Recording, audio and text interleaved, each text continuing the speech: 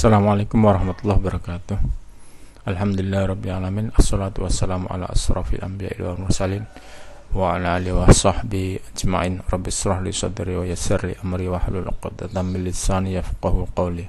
Rabbi zidni ilma warzuqni fahma. Amin. Rekan-rekan yang dirahmati Allah uh, Minggu ini kita akan masuk ke ini ya analisa laporan keuangan. Ini namanya economic value added. Nah, economic value added atau disingkat jadi EVA nah ini uh, penilaian kinerja lebih lebih holistik lebih integrate gitu integrated daripada penilaian rasio-rasio sebelumnya. Nah coba kita lihat. Misalnya ini ya ini pengertian silahkan dibaca jadi langkah-langkah menghitungnya, saya langsung ke sini aja. Teman-teman tolong dicari ya, dicari di Google tentang economic value added, baik itu jurnal maupun tulisan-tulisan orang tentang economic value added itu banyak sekali.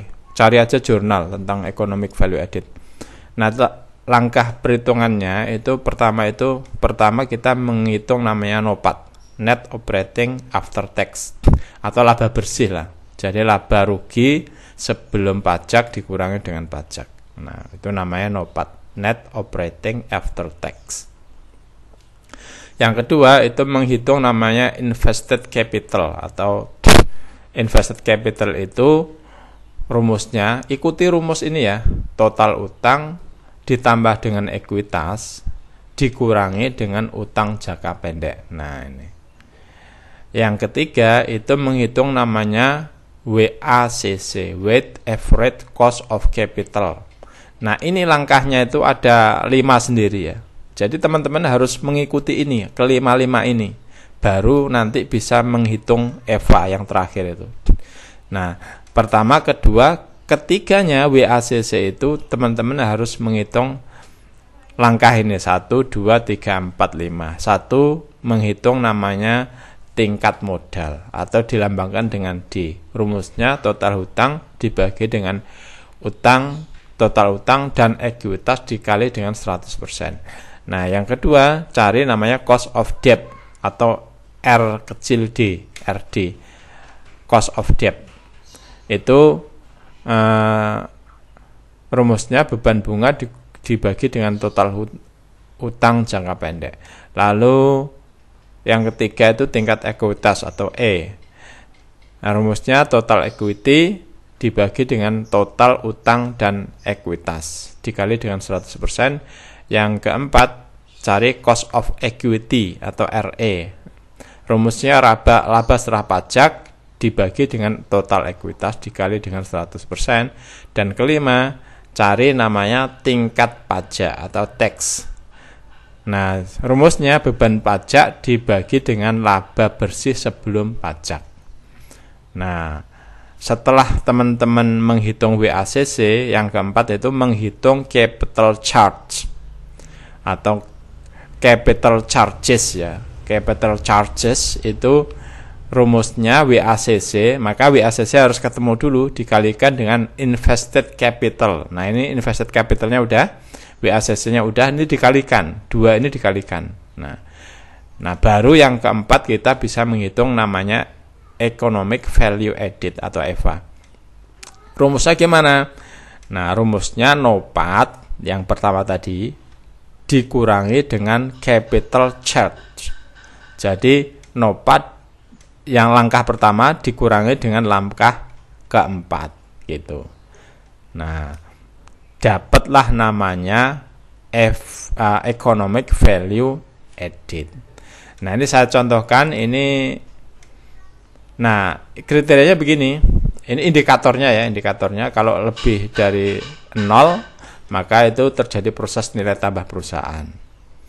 Artinya apa? Nilai keuangannya membaik. Tapi kalau nol itu namanya impas. Posisi perusahaan uh, impas karena apa semua laba itu digunakan untuk membayar kewajiban kepada penyedia dana baik kredit maupun pemegang saham. Nah, tapi kalau di bawah nol negatif itu berarti total biaya modal perusahaan lebih besar daripada laba operasio, operasional setelah pajak. Nah inilah kira-kira ya. Ini contohnya bank muamalat 3 tahun. Ini saya ambil dari uh, skripsi teman kamu ya, yang ujian kemarin, baru bulan-bulan kemarin ini ujian itu. Ini dia membuat skripsi gini ya tentang bank muamalat economic value added bank muamalat periode 2016 sampai 2019 tiga tahun. Nah dari perhitungannya ini sudah kesimpulan ya. Ini nopatnya itu ini, nopatnya ini, ini nopat uh, net operating nopat itu net operating after tax. Maka ini laba sebelum pajak ini pajaknya. Maka nopatnya ini. Teman-teman nanti tugasnya harus menghitung begini. Cari data ini data ini lalu ketemu nopat. Yang kedua ini cari namanya invested capital ini rumusnya ini total utang dan ekuitas ini utang jangka pendek dikurangi ini namanya invested capital yang ketiga cari WACC ini WACC ya ini rumusnya. Cari ini total utang, ini total utang dan ekuitas. Dibagi. Nah, maka dapat ini. Ini 0,72 ini ini ini. Nah, ini yang pertama. Jadi tingkat modal yang kedua cost of debt. Ini rumusnya, caranya ini, cari data ini. Nah, terus di dicari juga data ini dibagi. Nanti dapatnya ini RD-nya. Terus yang ketiga tingkat ekuitas itu equity. Ini total ekuitas dibagi dengan total utang dan ekuitas. Nah ini hasilnya. Ini tahunnya ini ini empat tahun sehingga ini ada empat tahun. Nah terus tingkat pajak sama juga. Yang jelas ikuti rumusnya, datanya dapat ikuti rumusnya. Terus nanti dapatlah data WACC dikalikan WACC dengan invested capital Lalu dapatlah namanya capital charges. Ini capital charge. Ini ya, capital charge. Nah, dari capital charge ini nanti dikalikan dengan uh, uh, dikurangi dengan nopat dikalikan dengan uh, dikurangi dengan capital charge.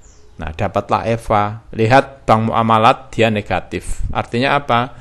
Nah, artinya labanya itu hanya bahkan tidak cukup ya hanya dinikmati oleh uh, apa pemilik modal dan pemberi hutang saja masih negatif ini.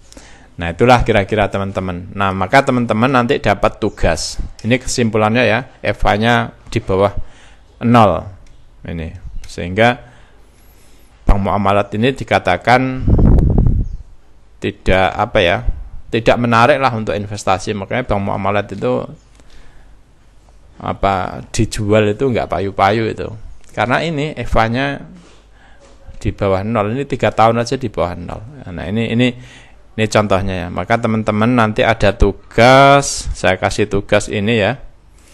Tugasnya menghitung economic value added. Saya sudah mengupload laporan keuangan Bank Mandiri. Bank Mandiri ya. Nanti teman-teman bisa lihat di sini. Nah, ini di sini. Di soalnya nanti ada ini. Nanti bisa diklik aja ini, diklik nanti, nanti ketemu laporan keuangan. Nah, lakukan langkah-langkah ini. Ini dua tahun ya. Tolong dihitung uh, economic value added selama dua tahun. Saya kasih waktu satu minggu nanti kalau nggak cukup nanti minggu depan kita bahas demikian ya silahkan dicoba kalau tidak paham silahkan bertanya saya sudah buat nah pertemuan 11 ini ada forum.